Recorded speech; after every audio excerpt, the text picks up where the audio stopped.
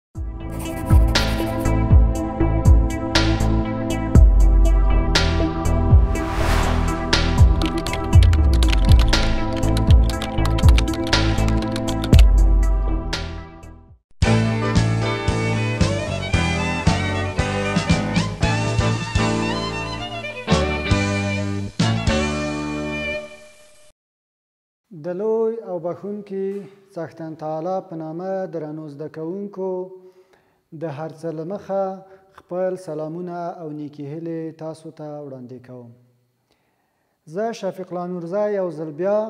د اووم ټولګي اړوند یو نوی درس تاسو په حضور کې وړاندې کوم. درنو زده کوونکو هیله مند یم چې خپل قلمونه او کتابچې مو د ځان سره تیار کړې وي تر څو د درس مهم ټکي په خپل کتابچو کې یاداښت کړئ. مخکې د دینه چې نوی درس پیل کو یو ځل په تیر درس باندې ولنډه کتنه کو درنو زده کوونکو زموږ د تیرې ورځې درس د حجرو بیلابیل ډولونه موږ په تېرې ورځې درس کې د حجرو بېلابېل ډولونه د تختې پر مخ رسم او هغه مو ونومول او د هغو په هکله باندې مو لنډ معلومات تاسو ته وړاندې کړل. درنو زده کوونکو د هغو حجرو د ډولونو له ډلې یوه یې عصبي حجره وه چې تاسو ته مو رسم او در وپېژندله. همدارنګه تخمه وه، اسپرم وه، د صافو عضلاتو حجره وه، د ښځو حجره وه او همدارنګه د چرګې د هګۍ حجره وه.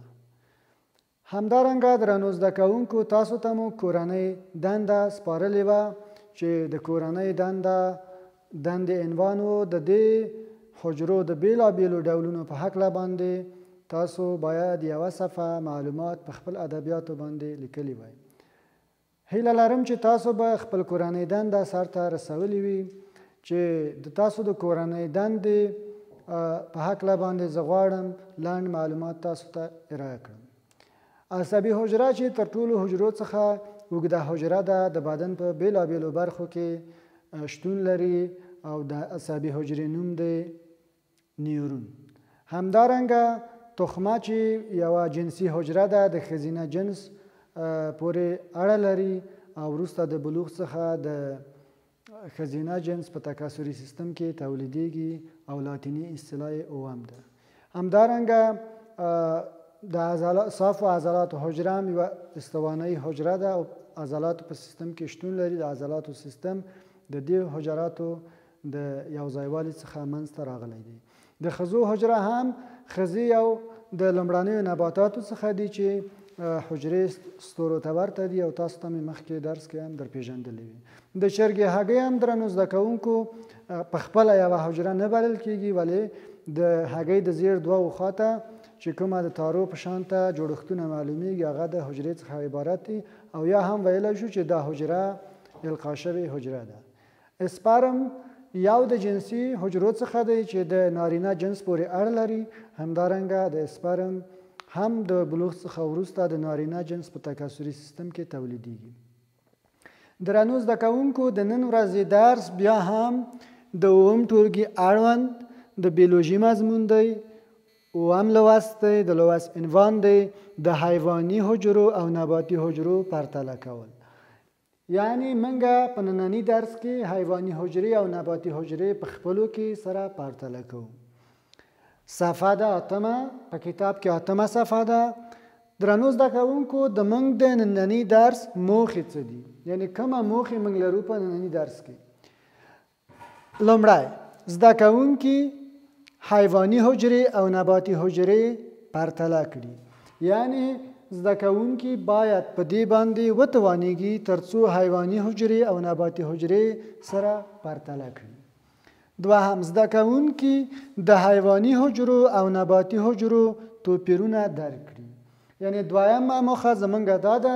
کله چې زده کوونکي حیواني حجرې او نباتي حجرې په خپلو کې سره پرتله کوي کومه توپیرونه چې په دې حجرو کې شتون لري دغه توپیرونه باید درک کړي درنو زده کوونکو اوس راځو درس ته زه د حیواني حجرو او نباتي حجرو توپیرونه په یو کوچني جدول کې تاسو ته معرفي کوم او لیکم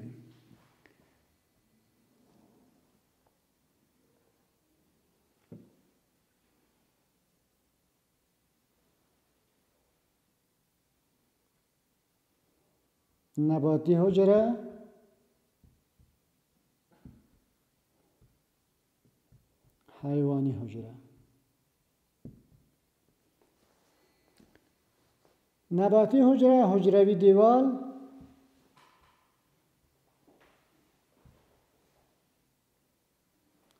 لري ولی حیواني حجره حجروي دیوال نه لري نباتي حجره پلاستید لري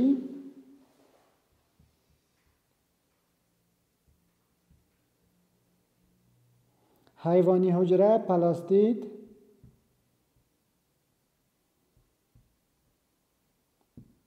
نه لري په نباتي حجره کې واکیولونه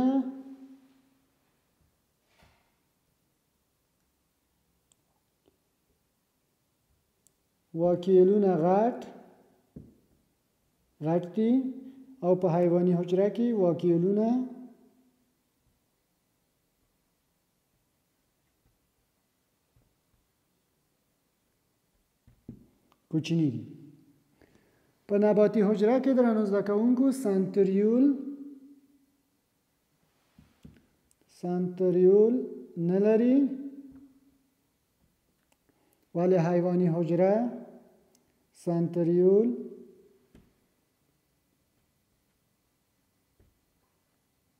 لري درنو زده کوونکو لکه څنګه مو چې په خوا په تیرو درسونو کې ویلی وو نباتي حجره حجروي دیوال لري حجرې ته ثابت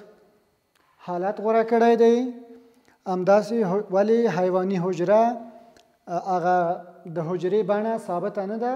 حجروي دیوال نه لري یوازې حجروي غشا لري همداسې نباتي حجره پلاستید لري چې د پلاستید د ډلې څخه کلوروپلاست چې د کلوروفیل هغه ماده یا توکي پکې شتون لري چې د ضیایي ترکیب لپاره ډیره ورته اړتیا ده لري ولی حیواني حجره پلاستید نه لري په نباتي حجره کې درنو زده کوونکو واکیولونه غټ غټ دي یعنی واکیولونو ډیره فضا نیولې ده ولی په حیواني حجره کې واکیولونه کوچني دي نباتي حجره سنتریول نه لري ولی حیواني حجره سنتریول لري سنتریول یو د هغو اجزاو څخه دی یا ارګانیلونو د هغو ارګانیلونو څخه دی چې د حجرې په ویش کې د حجرې سره مرسته کوي درنو زده کوونکو سربیره په دې توپیرونو حجرې ځنې یو شانته والی هم لري یعنی ځنی خصوصیات یا ځنی موارد په حجرو کې شته چې هغه یو شانته دي سربیره په دې توپیرونو د د حیواني حجرو او نباتي حجرو یو شانته والای یعنی ځینې ټکي شته چې د حیواني حجرو او نباتي حجرو هغه ټکي یو شانته دي سربیره په دې توپیرو چې موږ مخکې درنو زده کوونکو بیان کړه دا مهمه هغه مشترک ټکي په دې حجرو کې کوم دي یو حجرې تغذیه کوي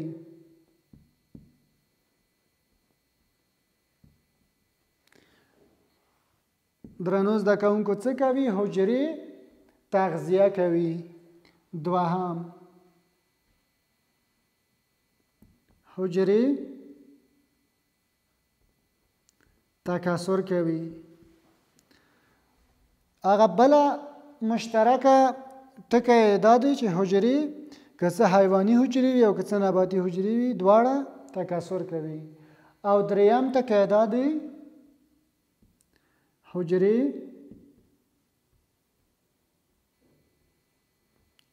وده کوي یو ځل درنو زده کوونکو بیا تکرار کوم حیواني حجرې او نباتي حجرې په خپلو کې ځنې یو شانتوالی لري سربیره د دې توپیرونو څخه هغه یو شانتوالی درې ټکي لري لومړی حجرې تغذیه کوي یعنی که هغه حیواني حجرې وي او که هغه نباتي حجرې وي غذا ته اړتیا لري خوراکي توکو ته اړتیا لري دویم ټکی دا دی حجرې تکثر کوي که چیرته حیواني حجره یې درنو زده کوونکو او یا هم نباتي حجره یې دواړه د خپل نسل ډیری یعنی ډیرښت کوي دریم ټکی دا دی حجرې وده کوي درنو زده کوونکو تاسو ګورئ چې کوچني کوچني ماشومان وده کوي غټیږي همداسې کله چې منګه ځنې بوټي کښت کوو کښت زار کې خو منګه تاسو افغانستان خلک ماشاءالله ډیر وړتیا لري نو کله چې منګه غنم لوبیا یا یو نیالګی دی یو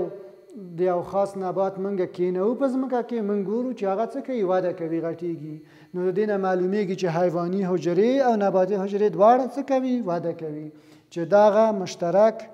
ټکي دي چې هم حیواني حجرې لري او هم درنو زده کوونکو نباتي حجرې لري زه غواړم یو ځل د خپل درس درنو زده کوونکو راټول کم سره جنبندي کم نو د منګه درس و د حیواني حجرو او نباتي حجرو پرتله کول منګه حیواني حجرې او نباتي حجرې پرتله کړې درنو زده کوونکو منګه ویل نباتي حجرې حجروي دیوال لري حیواني حجرې حجروي دېوال نه لري، همداسې نباتي حجرې پلاستيد لري، ولې حیواني حجرې پلاستيد نه لري؟ نباتي حجرې واکیولونه غټ دي، ولې د حیواني حجرو واکیولونه کوچني دي؟ نباتي حجرې سانتریول نه لري، ولې حیواني حجرې سانتریول لري؟ درنو زده کوونکو سربیره پر دې توپیرونو ځنې مهم ټکي شته چې دواړه حجرې لري یعنی امې حیواني حجرې لري او امې نباتي حجرې لري چې دا ځنې ټکي دواړو حجرو کې یو شانته دي منګه ویل حجرې تغذیه کوي یعنې دواړه غذایي توکو خوراکي توکو ته اړتیا لري دوهم حجرې تکثر کوي که حیواني حجره وي او که نباتي حجره وي د خپل نسل ډیروي ډیرښت کوي یا هم تکثر کوي دریم حجرې وده کوي یعنی حیواني حجرې او نباتي حجرې وده کوي غټیږي درنو زده کوونکو نو کله چې مونږه دغه مهم ټکی د د حجرو تاسو ته معرفي کړه یا مو در وپېژندل اوس غواړم چې د یوې حجرې موډل تاسو ته په عملی بڼه باندې وښیم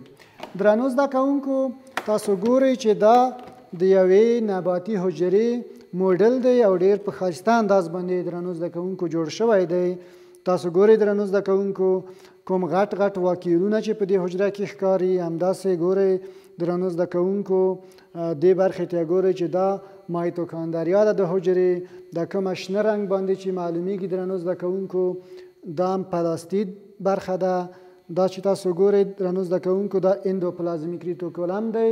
چې اندوپلازمیک ریټوکولم دغه بدون د دانو نه دی یعنی دانې په دې برخه کې شتون نه لري ولې تاسو ګورئ چې په دې برخه کې دانې دانې لیدل کیږي یو دانې په دې برخه کې شتون لري همداسې دا د حجرې هغه منځنۍ برخه د هستې برخه ده نو که چیرته یو موډل درنو زده کوونکو اوس بل وای نو تاسو ته به مې پرتله کړی هم و د موډل په د موډل په منځ کې یعنې دواړه موډلونه به مو سره پرتله کړي وو خو اوس یوازې د نباتي حجرې موډل د منګه سره اوس په پلاس کې شته یعنې اوس منګه سره شته چې دا مې تاسو ته وښوده نو درنو زده کوونکو دا وه د حجرې موډل چې په حیواني حجرو کې دغه واکیولونه کوچني دي او پلاستید نه لري او همدارنګه حجروي دیوال هم حیواني حجرې نه لري درنو زده کوونکو د درس په پای کې زه تاسو ته کورنۍ دنده هم سپارم د تاسو کورنۍ دنده به دا وي چې یوه نباتي حجره او یوه حیواني حجره رسم کړئ او اجزاوې یې ونوموی زه تاسو ته لیکم درنو زده کوونکو د تاسو کورنۍ دنده